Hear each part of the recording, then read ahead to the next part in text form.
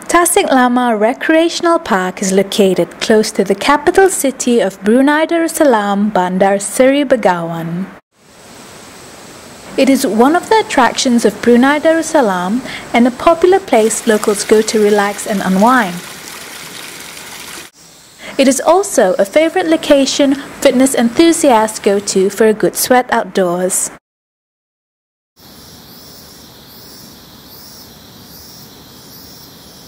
Whether you choose to take a leisurely walk or venture and explore the surrounding forests, time spent at the Tasek Lama Recreational Park will definitely be worthwhile.